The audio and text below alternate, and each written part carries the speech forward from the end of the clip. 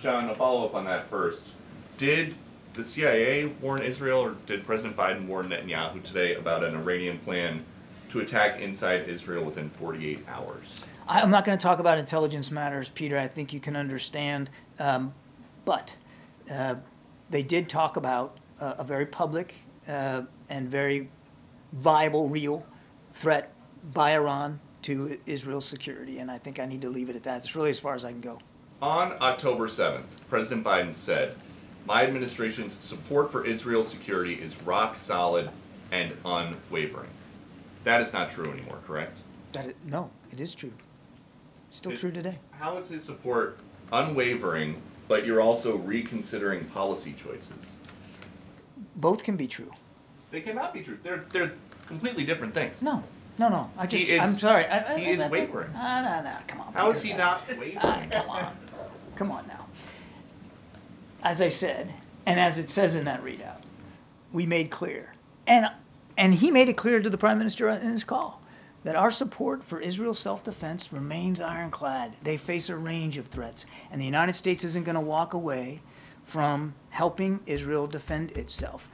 That said, you can say all that and you can act on that and you can believe that, and the president does, and still believe that the manner in which they're defending themselves against the Hamas threat needs to change.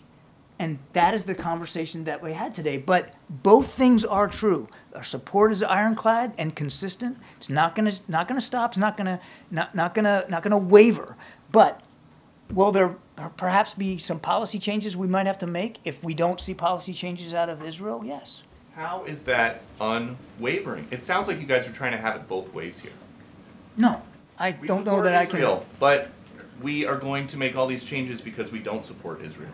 I didn't say we're going to make changes. I said we need to see well, how Israel responds to the humanitarian crises in Gaza and how they respond to the protection of aid workers. I think we can all agree. I think you would agree. You don't want to see innocent civilians killed or targeted, do you? You don't want to see uh, Gazans starve. You don't want to see famine in Gaza, do you? Of course not. But you're So- the policymaker and you're talking about policy changes. So- that is not what you were talking about on October 7th.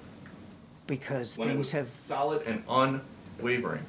on October 7th, there wasn't near famine in Gaza. On October 7th, there wasn't um, a diminution of trucks getting into Gaza. On October 7th, we didn't see thousands and thousands of innocent people killed.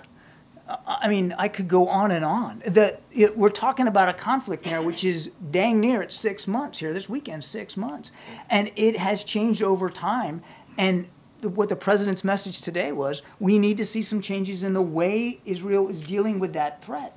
That's, that's what two good friends and allies can discuss. This isn't, about un, this isn't about changing our support to Israel or the security of the Israeli state. And I, I just have to take issue with the premise of the question. Okay, just the last one then. Where is President Biden on any of this? When he wants to talk about how angry he is or frustrated he is about the high cost of insulin, he comes out and gives an impassioned speech.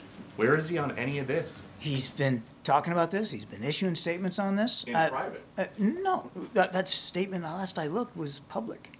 But where is he? Why isn't he here right now? I'm sure you'll continue to hear from the president about this and many other national security All right, issues. we gotta, we gotta wrap it up. Go ahead.